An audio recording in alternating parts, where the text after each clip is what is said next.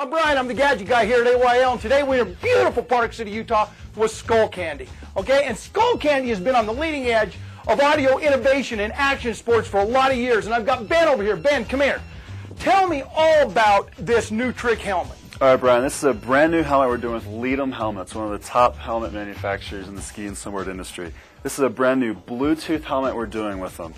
It's got full controls on the ear pad. It's got an audio ear pad. That's a speaker built into the ear pad Wow. here. With an adapter that you drop on top of your iPod, it streams the music wirelessly from your helmet. iPod to your helmet, and then also Bluetooth from your phone, so you can take a cell phone call wirelessly. So I can be as well. trucking down the hill snowboarding, bingo bango, get a call on my cell phone, talk to it while I'm listening to my music. That's how it works. All wireless, guys. All wireless. This thing is cool. Next thing we're going to look at is these new headphones. Now, I, I understand these are really cool, so explain to me a little bit about them. All right, this is a brand new headphone that we have. It's called the Mark Frank Montoya or the MFM Pro Model headphone. It's an over-the-head DJ style headphone. The key point in this is a one gig MP3 player that pops in the side. One gig, that's about 250 songs. All, all, all wireless. Completely wireless. Powered by batteries? Two AAA batteries right in the side here.